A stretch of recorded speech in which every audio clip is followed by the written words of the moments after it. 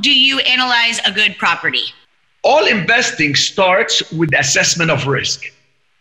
And to assess risk, you got to look at facts and figures. So let's talk about the numbers for a second. If you're writing this down, I want you to write this.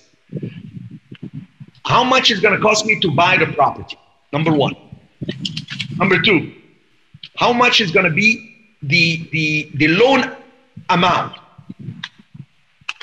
Number three, what are going to be the, the payments and the terms? Am I getting a fixed rate at 4.5% for 30 years? Or am I getting uh, a, an interest only for three years, then it's going to change to market? So what, what kind of risk do I have?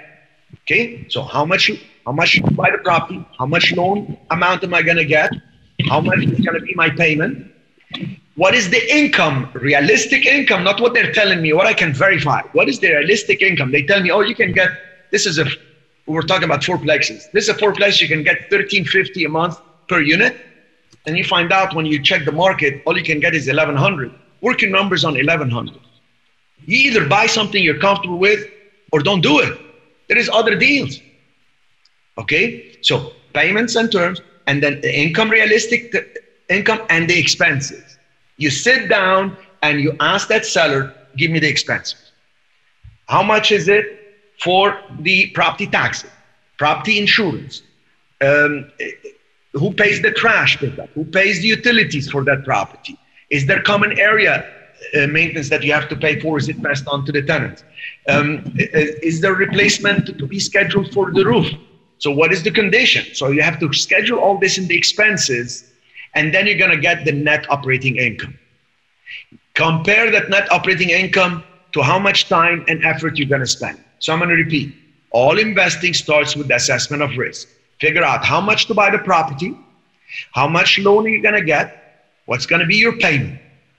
So now you're going to figure out how much is the income on that property, how much are the expenses, and the net operating income, you're going to live and die by the net operating income. That net operating income better make the payments to the bank, plus have enough to cover all expenses, and you have some net income so you can have some return on the cash down payment you put. Whether that cash down payment is your money or you studied with us how to raise capital and it's investors' money.